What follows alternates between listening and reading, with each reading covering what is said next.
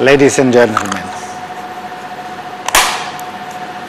I'm proud to present, after 160 years, the first fuel cell in the history.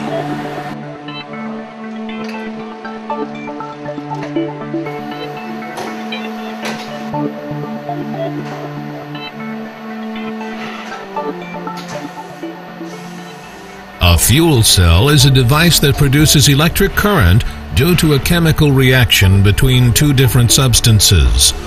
Fuel cells are primarily used today in spacecraft and experimental cars powered by electricity.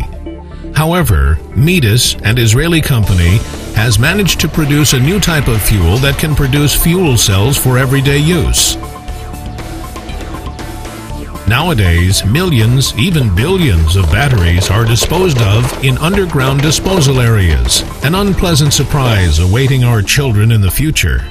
Energy efficient green fuel cells can significantly reduce the contamination of the earth, promising our children a better future and a healthier environment.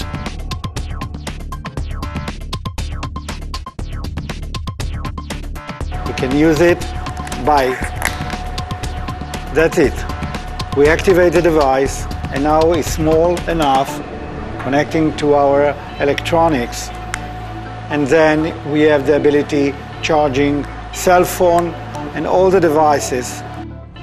You can charge it for more than 24 hours. You can charge it five, six times from zero to full charge. And in emergency, we need light. And here we got light for two weeks. Two weeks.